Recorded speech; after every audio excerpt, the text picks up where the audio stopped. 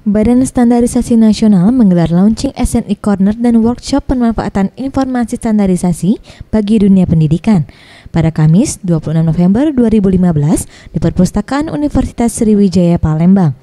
SNI Corner merupakan outlet informasi standarisasi dan penilaian kesesuaian yang menyediakan dokumen SNI dengan topik terpilih. Direktori Laboratorium dan Lembaga Sertifikasi, buku referensi, serta berbagai multimedia pendidikan standarisasi, promosi SNI maupun video streaming.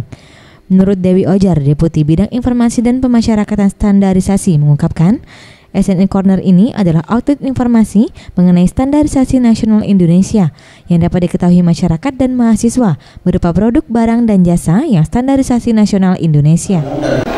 SNI Corner adalah pojok yang berisi tentang informasi mengenai standar nasional Indonesia.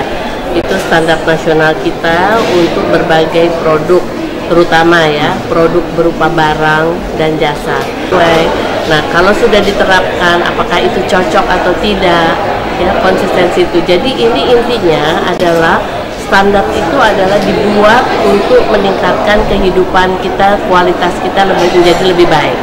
Ia mengharapkan para mahasiswa dapat mengetahui dan memahami standarisasi nasional Indonesia, sehingga para mahasiswa harus peduli untuk mengembangkan ataupun menerapkannya di kehidupan sehari-hari.